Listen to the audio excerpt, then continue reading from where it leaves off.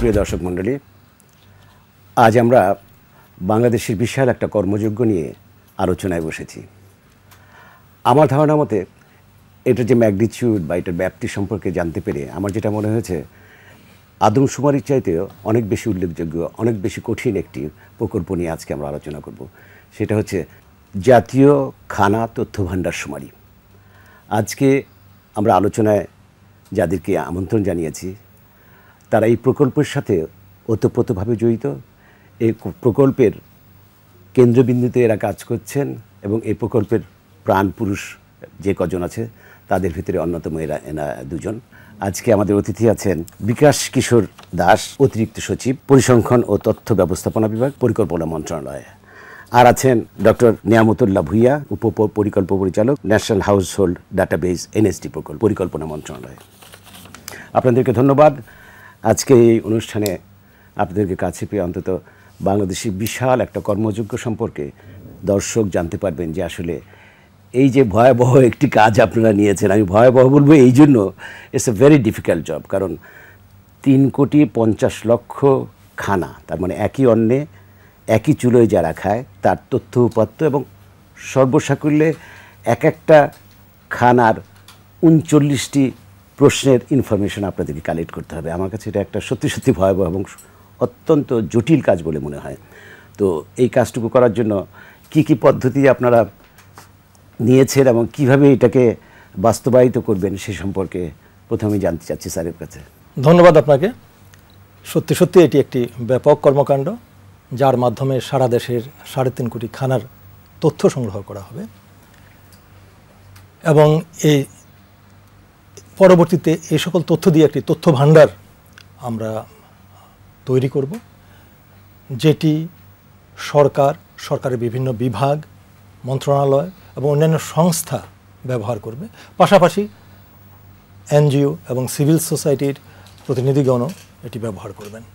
ব্যবহারটা করবে? কী কারণে ব্যবহার করবেন এটা দেশের সামগ্রিক, আর্থসামাজিক অবস্থা এবং প্রেক্ষাপটের পরিবর্তনের জন্য মন্ত্রণালয়গুলো তাদের নিজস্ব যেসব জায়গায় তাদের কাজ করবার দরকার, সেগুলি জানার জন্য একটা তথ্য ভাণ্ডার দরকার। সেখান থেকে তথ্য উপাত্ত নিয়ে তারপরে তাদের প্রকল্পের যেই জায়গায় যথাযোগ্য প্রয়োজনে, প্রয়োজনীয় জায়গাটায় তারা কি ব্যবহার করবে এটাকে? এটির বহুবিধ ব্যবহার হবে। প্রথমত এটি আমাদের যে সামাজিক নিরাপত্তা বেষ্টনী আছে, আপনারা জানেন যে আমাদের দেশে প্রায় একশো পঁয়তাল্লিশটি কার্যক্রম পরিচালিত হচ্ছে সামাজিক নিরাপত্তা বেষ্টনীর আওতায়। এবং সরকারের তেইশটি মন্ত্রণালয় এবং বিভাগ এই কাজ বাস্তবায়ন করছে। এই ডাটাবেজের মাধ্যমে সকল খানার, তাদের আর্থসামাজিক এবং জনমিতিক তথ্য সংগ্রহ করা হবে, যেটি সামাজিক নিরাপত্তা বেষ্টনীর আওতায় পরিচালিত কর্মসূচিগুলোর উপকারভোগী বাছাই করতে সহায়তা করবে। থ্যাংক ইউ স্যার আমি এখন ডক্টর নিয়ামতুল্লাহ উপ প্রকল্প পরিচালক, আপনার কাছে যাচ্ছি। এই প্রকল্পের আমি একজন সদস্য পিআইসিটা ডেপুটি টিম লিডার হিসেবে আপনার সঙ্গে আমি সরাসরি কাজ করেছি এবং দেখেছি যে এই সুমারির বা জাতীয় খানা তথ্য ভাণ্ডারের পেছনের মানুষটি হচ্ছে আপনি, যার সাথে আমার সরাসরি যোগাযোগ ছিল। এবং আপনি এই প্রকল্প সম্পর্কে সবচেয়ে ডিটেলস বলতে পারবেন বলে আমার বিশ্বাস। তো আপনার কাছে জানতে চাইব যে একেবারে সহজ ভাষায় এবং সহজভাবে যাতে মানুষ বুঝতে পারে এই প্রকল্পটি কেন? এত বিশাল একটি কর্মযোগ্য এর পরিণতিটা কি আছে এবং কি উদ্দেশ্য আছে এর পেছনে সরকারের সেটা আমরা একটু জানতে চাচ্ছি। এবং আমরা জেনেছি যে আপনাদের এই সুমারির পর থেকে অন্যান্য মন্ত্রণালয়গুলো এই অ্যাডভান্টেজটা নিয়ে তারাও তাদের উন্নয়নমূলক কার্যক্রম পরিচালনা করবে। এটা একটু যদি ডিটেলস করে বলেন। ধন্যবাদ আপনাকে। আমি প্রথমেই আমার সূচনা বক্তব্য দেওয়ার আগেই আমি এই এটিএন বাংলার যে অগণিত দর্শক শ্রোতা আছেন, তাদেরকে আমি অভিনন্দন জানাই এবং একই সময় একটা নিবেদন করতে চাই যে আজকের এই যে আমাদের টক শো হচ্ছে, আপনার সঙ্গে কথাবার্তা হচ্ছে, এটা একটা গতানুগতিক টক শো এর মতো নয়। অন্যান্য বিষয়, রাজনৈতিক বিষয় বা তারা বিভিন্ন সময় যে সমস্ত কথাবার্তা শোনেন, সে সমস্ত বিষয়গুলো কারোটা হয়তো প্রয়োজনে লাগে, কারোটা হয়তো প্রয়োজনে লাগে না। আজকে আমরা যে বিশেষ বিষয়টা নিয়ে কথা বলতে চাচ্ছি, সেটা হচ্ছে যারা দর্শক শ্রোতা আছেন, তাদের নিজেদের কথা, নিজেদের প্রয়োজনের কথা আমরা আজকে বলতে এসেছি। তো যারা টক শোটা দেখা শুরু করেছেন, মনে হচ্ছে যে রাজনৈতিক কোনো বক্তব্য নয়, অথবা অন্যান্য যে সমস্ত বিষয় আমরা উপভোগ করি, সেই সমস্ত বিষয় নয়, আপনারা দয়া করে টিভি বন্ধ না করে আপনার কথাটা, আপনার প্রয়োজনের কথাটা বলতে এসেছি আমরা, সেই কথাটা আপনারা মনোযোগ দিয়ে শুনবেন। কারণ সরকার আপনার দোরগোড়ায় নিয়ে যাচ্ছে আপনার তার সার্ভিসকে। আপনি কীভাবে সহযোগিতা পাবেন, সেই সহযোগিতাটা পাওয়ার জন্যে সরকার কীভাবে সহযোগিতার হাত বাড়িয়েছে এবং আপনি কীভাবে সহযোগিতাটাকে এইভাবে পারস্পরিকভাবে আপনি কীভাবে সুবিধা পাবেন, সেই বিষয়গুলো আমরা আজকে বলব। আমি প্রথমেই বলি, আমার সহকর্মী বলেছেন যে আমরা প্রায় সাড়ে তিন কোটি খানার আমরা তথ্য সংগ্রহ করব। প্রথমে আমি বলে রাখি যে অন্যান্য সুমারি বা অন্যান্য জরিপের সঙ্গে এর পার্থক্যটা কী? পার্থক্য হচ্ছে আপনি ধরেন যে আদমশুমারির বিষয়ে যদি আমি বলি আদমশুমারির বিষয়টা হচ্ছে যে কথা দ্বারাই আপনি বুঝতে পারেন যে আদমকে সুমারি করা হচ্ছে অর্থাৎ মানুষকে গণনা গণনা করা হচ্ছে। আমাদের দেশে কত মানুষ আছে সেটা গণনা করা হবে। কিন্তু এটার বিষয়টা হচ্ছে এটা হলো খানা গণনা করা হবে। এখন আমি খানা কাকে বলে? প্রাসঙ্গিকভাবে প্রশ্ন আসে যে খানা এবং পরিবার এর মধ্যে তফাৎটা কি? অনেকে এটা গুলিয়ে ফেলেন। আমি বলছি যে সেটা সূক্ষ্ম হয়তো তারতম্য আছে খুব বড় ধরনের কোনো তারতম্য নয়। আমরা বলেছি যে যারা একই ঘরে থাকে এবং একই পাকে খায় তারা খানার সদস্য। এখন আমরা ছোটবেলা থেকে শুনে এসেছি যে এক চুলায় খায় অথবা আমরা একই ঘরে থাকি এবং আমরা এক পাকে খাই এক চুলায় খাই একই রসদে আমাদের খাওয়া দাওয়া হয় সেই ধরনের বিষয়গুলোকে আমরা বলেছি খানা। পরিবার হয় পরিবার মা বাবা ভাই বোন ছেলে মেয়ে অনেককে নিয়ে পরিবার হয়।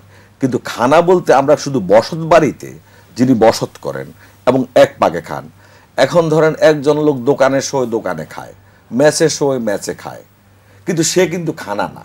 খানা মানে হচ্ছে তার বসতি যেখানে তিনি বসত করেন। সেই জিনিসটার আমরা গণনা করি তার মানে আপনি বলতে চাচ্ছেন যে যারা ম্যাচে থাকে কিংবা যারা দোকানে খায় দোকানে ঘুমায় ওদের সুমারি হবে না? হ্যাঁ সুমারি হবে। আপনি খুবই প্রাসঙ্গিক প্রশ্ন করেছেন। সুমারি হবে তার খানায়। যিনি যে তিনি যেই খানার সদস্য সেই খানায় হবেন আচ্ছা, আচ্ছা। দোকান বা মেস এ সেগুলো খানা নয়। খানা হচ্ছে বসতি যেখানে আছে সেটা হোস্টেল সেগুলো খানা নয়। কেউ স্কুলের হোস্টেলে থাকে কেউ কলেজের হোস্টেলে থাকে সেগুলো খানা নয়। আপনি আদমশুমারির সময় বা লোক গণনার সময় যেটা করা হয় বাস স্ট্যান্ড লঞ্চ ঘাট আপনি যেখানে যে লোক পাচ্ছেন গুনছেন। কিন্তু আমি গুনবো এখন খানার মধ্যে খানা এবং খানার মধ্যে যারা সদস্য আসে আছেন। এ কথার মানে হচ্ছে এই যে আমরা প্রত্যেক ঘরকে আমরা কিন্তু প্রত্যেক খানায় বা প্রত্যেক ঘরে আদমশুমারির সময় যাই না। কিন্তু আমি ওই- এই সতেরো জেলার মানুষদের এবং সারা বাংলাদেশের মানুষ যে আমরা তিন ফেজে আমার সহকর্মী বলেছেন যে আমরা তিন ফেজে করব। প্রথম ফেজ এখন চলছে সতেরোটা জেলায়। আমরা প্রত্যেক খানায় যাব অর্থাৎ প্রত্যেক ঘরে ঘরে গণনাকারী যাবে। আমরা তিন কোটি পঞ্চাশ লক্ষ খানাকে আমরা করব। প্রথম যে আমাদের বিবেচনা ছিল তিন লক্ষ তিন কোটি পঞ্চাশ লক্ষ। এখন এটা হচ্ছে তিন কোটি চৌষট্টি। মানে বেড়েছে। হ্যাঁ হ্যাঁ বেড়েছে। তো এখন আমরা যে কথাগুলো বলছি যে আমি প্রথমে বলেছিলাম যে আপনি বলছেন কেন? এই বিশেষ প্রয়োজনটা কেন এই এই সুবারিটার আমাদের সরকার যে জনকল্যাণমূলক কতগুলো কাজ করছে সেগুলোর মধ্যে আপনার সামাজিক নিরাপত্তা বেষ্টনী স্যার বললেন 145 যে একশো পঁয়তাল্লিশটার মতো আছে সেগুলোর মধ্যে আমি যদি আপনাকে মোটা দাগে উল্লেখ করতে চাই যেমন ধরেন বয়স্ক ভাতা বিধবা ভাতা টিআর কাবিখা এগুলো নানান কর্মসূচিগুলো আছে মুক্তিযোদ্ধাদের ভাতা। এগুলো হয় কি যে সঠিক উপকারভোগীটাকে সেটা বৈজ্ঞানিক পদ্ধতিতে অথবা একটা সমন্বিত পরিকল্পনার কল্পনার মাধ্যমে সেটা কিন্তু কখনো আমরা নির্বাচন করতে পারিনি। পারিনি আগে এতে অসুবিধা হচ্ছে হয়তো কোনো যোগ্য লোক বাদ পড়ে যায় অথবা একই লোক দ্বৈততার কারণে দুই তিন ধরনের কর্মসূচির সুবিধা পায়। এখন সরকার যে ব্যবস্থাটা করেছেন আন্তরিকতার সঙ্গে যে মানুষের কাছ থেকে তথ্যটা নিয়ে, এটার একটা তার আর্থসামাজিক পরিস্থিতিটা কি সেটা নির্বাচন করবেন। করে সেটা কিন্তু এই জন্য আমরা বলেছি তথ্য সংগ্রহের সময় প্রত্যেককে জাতীয় পরিচয়পত্র এবং আপনার জন্ম নিবন্ধন কার্ড সঙ্গে রাখতে। যাতে করে আমরা পরে এগুলো ভ্যালিডেশন করতে পারি, অর্থাৎ যাচাই করতে পারি তথ্যটা সঠিক কিনা। সেটা খুবই প্রয়োজনীয়। আমরা যারা এই সত্র জেলায় এখন সত্র জেলায় এখন আমাদের কর্মসূচি পরিচালনা করছেন এবং এই এলাকার জনগণ আছেন তাদের প্রত্যেককেই চলছে, হ্যাঁ, চলছে যে এখন তথ্য সংগ্রহ কার্যক্রম তাদের প্রত্যেককে আমি বিশেষভাবে নিবেদন করতে চাই যে আপনাদের জন্ম সনদ এবং জাতীয় পরিচয়পত্র সংগ্রহে রাখবেন তথ্য সংগ্রহকারীকে সেটা স্যার এই এই জায়গায় একটা প্রশ্ন আছে খুবই ভাইটাল একটা কোশ্চেন সেটা হচ্ছে যে প্রত্যেকের তো জন্ম নিবন্ধন কিংবা জাতীয় পরিচয়পত্র নেই। সেক্ষেত্রে সে কি গণনার আওতায় আসবে না? আসবে। আপনি জাতীয় পরিচয়পত্র যেমন সেটি হচ্ছে যারা ভোটার হয়েছেন বা আঠারো বছর বয়স হয়েছেন আপনি সে কথা বলছেন তারা দেখাবে। আর বাকি যারা তাদের তো জন্ম সনদ আছে দেখাবে। আমরা এই দুটোর একটা হলে হবে সেটা আমরা বলছি না। আমরা বলছি যে যার আঠারো বছর বয়স আছে এবং যিনি তার জন্ম তার জাতীয় পরিচয়পত্র আছে তিনি এটাও দেখাবেন তার জন্ম সনদও দেখাবেন। আর যার এখনও আইডি কার্ড তৈরি করার বয়স হয়নি তিনি শুধু জন্ম সনদ দেখাবেন। স্যার এই যে প্রান্তিক এলাকায় জন্ম সম সনদ সংগ্রহ করা লোকের সংখ্যা খুব কম হবে বলে আমার মনে হয় আর কি। প্রান্তিক এলাকায় যারা থাকে অশিক্ষিত লোক পড়াশোনা জানে না। ওরা তো আসলে এটার মূল্যবোধও বোঝে না যে আসলে জন্ম সনদটা কখনো তার জীবনের প্রয়োজনে আসবে। আর ওদের তো মানে মেডিকেল ফ্যাসিলিটিসগুলো তত উন্নত নয়। সেক্ষেত্রে জন্ম সম সনদটা যদি না থাকে সেক্ষেত্রে কি সরকার এই শুমারির পর কোনো ধরনের উদ্যোগ গ্রহণ করবে যে তাদেরকে জন্ম সম সনদ কিংবা ন্যাশনাল আইডি কার্ড দেওয়ার সুব্যবস্থা বা কোনো ধরনের অ্যাডভান্টেজ দেবে কিনা? না আপনি যেটা বলেছেন আমি একটু বিনয়ের সঙ্গে এটা একটু বলি যে সরকার কিন্তু জন্ম সনদদার দেওয়ার ব্যাপারে সরকার অত্যন্ত সিরিয়াস। এবং এখন আমার জানা মতে জন্ম সনদ পায়নি এই ধরনের লোক সংখ্যা পাওয়া যাবে বলে আমি মনে করি না। কারণ সরকার এত আন্তরিক এই বিষয়ে এবং এত আপনার বিশেষভাবে এটাকে লক্ষ্য করছেন, এটা যাতে ওদের হাতে পৌঁছে। আয়ের পর অগত্যা যদি কারও হারিয়ে যায়, আমরা কোনোভাবে এটাকে উৎসাহিত করি না। অগত্যা যদি কেউ এখনও সংগ্রহ করতে না পারে অগত্যাই যদি একজন দুজনের কাছে না থাকে তথ্য তবুও আমরা সংগ্রহ করব। এ কথার অর্থ এই নয় যে জনে জনেই গেলেই এই কার্ড ছাড়া তথ্য সংগ্রহ করা হবে। বিশেষ একেবারেই ব্যতিক্রমী এবং একেবারেই বিশেষ ক্ষেত্রে। এটা আমরা করব। কিন্তু শুধু এ কারণেই তার তথ্য নেওয়া হবে না বিষয়টা সেরকম নয়। স্যার এটা তো একটা সুবিশাল কর্মযোগ্য আগে আমি বলেছি যে একটি ভয়াবহ কর্মযোগ্য আপনি কি মনে করছেন যে আপনার এই স্টিপুলেটেড টাইম আর নির্ধারিত সময়ের ভিতরে এই বিশাল কর্মটি আপনার সুষম ঠিকমতো শেষ করতে পারবেন কিনা? আর কতজন লোক এর পেছনে কাজ করছে? যে আমরা অবশ্যই আশাবাদী। আপনি জানেন যে আমাদের এই প্রকল্পের মেয়াদ দু হাজার আঠারো সনের ডিসেম্বর পর্যন্ত এবং তিনটি ফেজে আমরা এই কার্যক্রম সম্পন্ন করব। বর্তমানে প্রথম ফেজের কাজ চলছে এবং এতে সতেরোটি জেলা এবং একশো পঁচিশটি উপজেলায় কাজ চলছে। এই একশো পঁচিশটি উপজেলায় আমাদের পঁয়তাল্লিশ হাজার গণনাকারী কাজ করছেন। তাদেরকে দেখাশোনার জন্য সাড়ে আট হাজার আমাদের সুপারভাইজার আছেন এবং জেলা এবং উপজেলা পর্যায়ে পরিসংখ্যান ব্যুরো থেকে জেলা তত্ত্বাবধানকারী জেলা সমন্বয়কারী এবং উপজেলা সমন্বয়কারী নিয়োগ করা আছে। এছাড়াও জেলা উপজেলা পর্যায়ের পরিসংখ্যান ব্যুরোর কর্মকর্তাগণ এর সাথে সম্পৃক্ত আছেন। এবং প্রথম পর্যায়ের মাঠ পর্যায়ের তথ্য আমরা গত চার তারিখে শুরু করেছি, চৌঠা এপ্রিল। এটি তেইশে এপ্রিল পর্যন্ত চলবে। প্রথম পর্যায়ের যাবতীয় কর্মকাণ্ড আমরা সাতই জুলাইয়ের মধ্যে শেষ করব বলে আমরা আশা করছি। এই যে এটা রুট লেভেলে কাজ হচ্ছে, একবার প্রান্তিক এলাকায় এলাকায়ও কাজ হচ্ছে। সো এটা কি সেন্ট্রালি আপনাদের নিয়ন্ত্রণ বা সেন্ট্রালি এইটার কি কোনো ধরনের মনিটরিং হচ্ছে কি না সঠিকভাবে যে কাজ হচ্ছে এবং কোনো একটা ঘর বাদ যাচ্ছে না। এই বিষয়গুলোকে আপনারা কি করে কন্ট্রোল করছেন? আমাদের যে ব্যবস্থাপনাটা আছে, সেই ব্যবস্থাপনাটা আপনারা জানেন যে আমাদের প্রশিক্ষণ দেওয়ার জন্য এটা ফার্ম নিয়োগ করা আছে। তারা প্রশিক্ষণ ফার্ম হিসেবে কাজ করেছে। আপনার, আমাদের যে প্রচারের কাজটা, আইসিআর ফার্ম আছে, আপনি, আপনার বক্তব্যের প্রথমে উল্লেখ করেছেন। তারা সেটা প্রচার করছে। আর আইসিআর যেটা আমাদের যে ফর্মটা, সেই ফর্মটা কাজটা করছে আরেকটা ফার্ম আইসিআর ফার্ম। এখন এই কাজগুলো দেখাশোনা করবার জন্য আপনার জেলা পর্যায়ে প্রথমে যদি আমরা ধরি যে বিভাগীয় কমিশনার যিনি আছেন, তার নেতৃত্বে কমিটি আছে, তার একটা টিম আছে, তারা দেখাশোনা করেন তারপর সেটাকে সুপারভাইজ করবার জন্য আমাদের জেলা পর্যায়ে জেলা প্রশাসকের সভাপতিত্বে একটা কমিটি আছে। সেখানে বিভিন্ন আমাদের বিভাগ, যেগুলো সরকারি বিভাগ আছে, সে সমস্ত বিভাগের লোকজন এবং স্থানীয় গণ্যমান্য ব্যক্তিবর্গ, বেসরকারি সংস্থার লোকজন, তারাও সদস্য আছেন, তারা সেটা দেখাশোনা করেন। জনপ্রতিনিধি আছেন, তারা দেখাশোনা করেন। জেলা পর্যায় থেকে আমাদের যে পরিসংখ্যান ব্যুরো, যে সমস্ত কর্মকর্তারা আছেন, বিভাগীয় পর্যায়ে আছেন যুগ্ম পরিচালক, তারপর জেলা পর্যায়ে আছেন আমাদের পরিচালকরা তারা সেটা দেখাশোনা করেন এবং অন্যান্য বিভাগের সকলের সমন্বয়ে একটা আপনি আগেই বলেছেন যে বিরাট কর্মযোগ্য। এটাতে প্রত্যেকেই সম্পৃক্ত আছেন। হয় কেউ সার্ভিস দিচ্ছেন, না হয় কেউ সার্ভিসটাকে দেখছেন। যেমন ধরেন আমি একটা বিশেষ বিষয় উল্লেখ করি। কালকে কিন্তু আমাদের সচিব মহোদয় দুটো জেলার জেলা প্রশাসকের অফিসে জেলা প্রশাসক প্রশাসকদের সঙ্গে এবং আমাদের যে কর্মকর্তারা ওখানে আছেন তাদের সঙ্গে ভিডিও কন- কনফারেন্সের মাধ্যমে কাজের অগ্রগতি জেনেছেন। এবং সরাসরি জেনেছেন।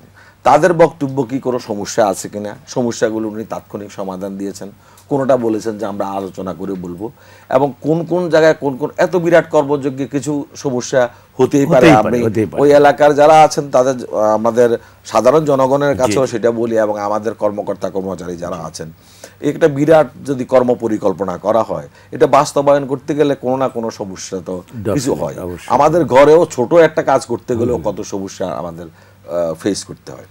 সেই ব্যবস্থাটা করার জন্যে আর আমা- আমাদের ধরেন যে এই ডিজিটাইজড একটা সময়ের মধ্যে আপনি ভিডিও কনফারেন্সিংয়ের মাধ্যমে সময় ক্ষেপণ হলো না আপনি মানে। তাৎক্ষণিক তথ্য পেয়ে গেলেন তাৎক্ষণিকভাবে তার পরামর্শ পেয়ে গেলেন তাৎক্ষণিক সিদ্ধান্ত পেয়ে গেলেন এটা তো আমরা দশ বছর আগে কল্পনাই কল্পনাই করতে পারি। অভূতপূর্ব একটা বিষয় আমি মনে করি যে তার সিদ্ধান্তের জন্য লিখে সিদ্ধান্ত পাওয়া। পর্যন্ত বাস্তবায়ন করার জন্য থেকে যাচ্ছে, আপনারা সে তাৎক্ষণিকভাবে তার সমস্যা বা চ্যালেঞ্জগুলো বলছেন কর্তৃপক্ষ। তাৎক্ষণিকভাবে তাকে বলে দিচ্ছে যে তুমি এই ব্যবস্থা করো। আমার অনুমোদন আছে আমার নির্দেশনা আছে তুমি এই করো। তো এতে গতি পেয়ে গেছে কাজটা। এখন নানা ধরনের আপনার উদ্যোগ আয়োজনের মধ্যে যে সমস্ত সীমাবদ্ধতা থাকে, সেগুলো আমাদের লোকজন যার যার কর্ম পরিকল্পনা দিয়ে। আর এটা তো শুধু আমি আপনাকে বলি যে, এটা শুধু সরকারের যে একটা জনগুরুত্বপূর্ণ কাজ, শুধু সেভাবে কিন্তু আমাদের লোকজন নেয়নি। এটা আন্তরিকভাবে নিয়েছে আমাদের হতদরিদ্র অতি দরিদ্র মানুষ যারা এখানে আছে। আমাদের কোয়ালিটি অফ লাইফটা কীরকম? আপনি দেখবেন যে পৃথিবীর বিভিন্ন দেশ আছে আমাদের থেকে উন্নত। তাদের কোয়ালিটি অফ লাইফ আমাদের পরিকল্পনা মন্ত্রী মহোদয় প্রায় প্রায়ই কথা বলেন যে আমাদের কোয়ালিটি অফ লাইফ অনেক ইমপ্রুভ করেছে। কতটুকু ইমপ্রুভ করেছে আসলে বাস্তবে সেটা আমরা দেখতে পাই। অনেকের একটা ভুল ধারণা হয়তো গরিব মানুষকে গোনার জন্য গরিবের অবস্থা দেখার জন্য এই প্রকল্প যাচ্ছে। একেবারেই ভুল ধারণা। আপনার যে অবস্থাটা আছে সত্যিকার অর্থে বাস্তবে সেই অবস্থাটা আমরা তুলে নিয়ে আসছি যেন ক্যামেরা দিয়ে এরকম। সেই তথ্যগুলো দিয়ে এই তথ্য ভান্ডার তথ্য ভান্ডারটা হবে। আপনি সরকারের কোন ধরনের সহায়তায় আপনি সামাজিক বেষ্টনের আওতায় আসবেন সরকার কীভাবে আপনার জীবনমানকে উন্নত করতে পারে সেই ব্যবস্থাটা করার জন্য কিন্তু এই তথ্যটা নেওয়া হচ্ছে আপনি যদি সরকার যদি তথ্য সঠিক না পায় তাহলে সরকার তার উন্নয়নমূলক কর্মকাণ্ডটা কিসের উপরে ভিত্তি করে করবে। আমি সেজন্য জনগণকে বলি যে এই কর্মসূচি আপনাদের। আপনার জন্যই এই তথ্য সংগ্রহ করা হচ্ছে আপনার কল্যাণের জন্য সংগ্রহ করা হচ্ছে। আপনাকে সেবা দেওয়ার জন্য সরকার প্রতিশ্রুতিবদ্ধ সরকার সেই সেবাটা আপনাকে দিতে চায়। আপনি অবারিতভাবে তথ্য দিন আর অবারিতভাবে আপনি সরকারের সেবাটা নিন। একটি ইম্পর্টেন্ট প্রশ্ন আমি আপনার কাছে করতে চাই। খুব আমার কাছে মনে হয়েছে সবচেয়ে ভাইটাল কোশ্চেন যেটা সেটা হচ্ছে যে এই সুমারি করতে যে সাধারণ মানুষের ভিতরে কোনো ধরনের নেগেটিভ বা নেতিবাচক কোনো ই আছে কিনা? যে আমার আমার জমি কি আছে আমার ঘর কয়টা আছে আমার খাবার পানি এসব না আমরা আশ্বস্ত করেছি যে প্রথম কথা আমি বলেছি এই তথ্য আপনার জন্য। এবং সরকার এই তথ্য গোপনীয়তা রক্ষা করবার জন্য প্রতিশ্রুতিবদ্ধ। সরকার আপনার তথ্য। আপনি যদি আপনার সরকারকে বিশ্বাস করে তথ্য না দেন তা আপনি কার কাছে. আপনার তথ্য সংরক্ষণ করার জন্য আপনি অন্যের হাতে টাকা দিয়ে রাখেন যখন ব্যাংকে তখন আপনি নিরাপদ বোধ করেন। আপনার নিজের সরকারের কাছে আপনি তথ্য দিতে তো অনিরাপদ বোধ করবার কোনো চমৎকার বলেছেন, উনি সরকার সেই তথ্য সংগ্রহ করবে গোপনীয়তা রক্ষা করবে এবং আরেকটা কথা আমি বলে শেষ করি যে এলাকার লোকজন যারা আছেন এই সত্র জেলার তাদের অনেকে বল- অনেকের মধ্যে আমাদের রবীন্দ্রনাথ যেমন বলেছেন আমি হৃদয়ের কথা বলিতে ব্যাকুল শুধাইল না কেহ। জি। এই কথা আপনি এখন বলতে পারবেন না। আমার লোকজন আপনাকে শুধাচ্ছে আপনাকে প্রশ্ন করছে জিজ্ঞেস করছে যে আপনার কি অবস্থা সামাজিক অবস্থা কি আপনার অর্থনৈতিক অবস্থা কি? আপনাকে বলবার সুযোগ দিচ্ছি আমি। আপনি একদম অকুণ্ঠ চিত্তে খোলা মনে আপনার সকল তথ্য দেন। সরকারের এই লোক আপনার নিজের মানুষ। আপনার এর চেয়ে আপন মানে আপনি বলতে চাচ্ছেন যে এই সময়টা হচ্ছে সামগ্রিকভাবে এই সময়ই হচ্ছে প্রত্যেকের মঙ্গলের জন্য। এখন আমি আপনাকে দেখাচ্ছি যে এই যে আইসিআর ফর্মটা এই আইসিআর ফর্মটাতে সে যে তথ্যগুলো দেয়া হবে সেই তথ্যগুলো একটা মেশিনের মাধ্যমে সেটাকে রিডেবল করে সেখান থেকে তথ্যটা আমরা আমাদের তথ্য ভাণ্ডারে নেব। এই এই ফর্মটার মধ্যে আপনার মোটামুটিভাবে আপনি যদি আমি বর্ণনা করি আপনার তেতাল্লিশটার মতো তথ্য আছে। এই তেতাল্লিশটা তথ্যের মধ্যে কতগুলো ভাগ আছে? প্রথম ভাগটা হচ্ছে নির্দেশাবলী। সেটা আপনি এখানে আপনি দেখতে পাবেন যে এক থেকে এই, এই- এইটুক জায়গার মধ্যে এই ইনস্ট্রাকশনটা দেয়া আছে। ইনস্ট্রাকশনের পরে সেই লোকেশন আমরা যেখানা তথ্যটা দিচ্ছি সেখানাটা কোথায়? অবস্থানটা কোথায়? কোন জেলার, কোন বিভাগের, কোন গ্রামে, কোন মহল্লায় সে তথ্যটা আমরা দিচ্ছি তারপর হচ্ছে হাউস হোল্ড হাউস হোল্ড আমি আগেই বলেছি, খানা খানা বলতে আসলে বসত বাড়ি, যেখানে উনি বসত করেন। সেই তথ্যটা পাঁচ থেকে শুরু করে আপনার এখানে এই বিশ পর্যন্ত খানার সমস্ত তথ্য এই এই অংশটাতে নেওয়া হচ্ছে, তৃতীয় অংশে। চতুর্থ অংশে নেওয়া হচ্ছে খানার সদস্য সংক্রান্ত তথ্য। যে আমাদের আমাদের ছেলে মেয়ে বা অন্য যারা আছে, মা বাপ, মা বাবাদের সঙ্গে যারা থাকেন, সদস্যদের তথ্য নেওয়া হচ্ছে। তারপরে হচ্ছে তথ্য যিনি দিচ্ছেন যিনি নিচ্ছেন তার স্বাক্ষর তার ওই দিনের তারিখ এই বিষয়গুলো নিচ্ছেন। এবং সদস্যদের সংখ্যা যদি আরও বেশি প্রয়োজন হয় সেক্ষেত্রে সদস্যগুলোকে আরও ছয়জন সদস্যের তথ্য লিখবার জন্য দ্বিতীয় পৃষ্ঠায় ব্যবস্থা আছে। তো এখানে সময়ের অভাবে আমি এই বিষয় সম্পর্কে ভালো করে বলতে পারলাম না সময় নিয়ে। তবে এটা পূরণ করতে গেলে যদি কোনো সমস্যার সৃষ্টি হয় সেটা বারবার আমরা প্রশিক্ষণ দিয়ে এবং আমরা গণনাকারী তথ্য সংগ্রহকারী এমন ব্রিলিয়ান্ট এবং ব্রাইট ছেলে মেয়েদের নিয়েছি। তারা স্কুল কলেজের শিক্ষিত মানুষ। এবং আমরা গুরুত্ব দিয়েছি তথ্য সংগ্রহকারীদের বেশিরভাগ যারা তারা মেয়ে হয়। মেয়েরা একটু শান্ত স্বভাবের হয় একটু গুরুত্ব দিয়ে করে। সে কথার অর্থ এই নয় যে ছেলেরা। হ্যাঁ, ছেলেরা করে না সেই কথা কিন্তু ওদের গ্রামে তো- গ্রামে ধরো হ্যাঁ, তো আমরা বেশি। excessটা হয় বেশি। সে মা খালাম্মা বলে যেভাবে ওখানে যেতে পারে। সেভাবে ছেলের. তো সুতরাং আমরা সেটা করেছি। আমরা সোফার যেভাবে আমাদের অগ্রসর হচ্ছে আমাদের কর্তৃপক্ষ আমরা যে তথ্য মাননীয় পরিকল্পনা মন্ত্রী মহোদয়কে দিয়েছি বা সরকার জানেন মাননীয় প্রধানমন্ত্রী জানেন অথবা আমাদের যে ব্যবস্থাপনাটা আছে আমরা সকলে মোটামুটিভাবে ধরে নিচ্ছি যে আমরা একটা ভালো ফলাফল পাবো। এবং মানুষের। আপনি যেমন রবীন্দ্রনাথ বলেছেন যে অন্ন চাই প্রাণ চাই আলো চাই চাই মুক্ত বায়ু চাই স্বাস্থ্য চাই বল আনন্দ উজ্জ্বল পরমায়ু। সেটা নিশ্চিত করবার জন্য সরকার যে ব্যবস্থা করেছে সকলকে সেইটার বিষয়ে তো সহযোগিতা করতে হবে। সরকারের একার পক্ষে তো সেটা আলাদা করে করতে পারবে না। ধন্যবাদ এবং তথ্যের উপর নির্ভর করে কিন্তু সেই পরিকল্পনাটা সরকার গ্রহণ করবে। ধন্যবাদ আপনাকে। আপনার তথ্য দেওয়ার জন্য। আমাদের এই প্রকল্পের একটি ট্যাগলাইন আছে। ট্যাগলাইনটা হচ্ছে খানার সুমারিতে তথ্য দিন উন্নয়নে অংশ নিন। খানার সুমারিতে তথ্য দিন উন্নয়নে অংশ নিন। ধন্যবাদ আপনাদের।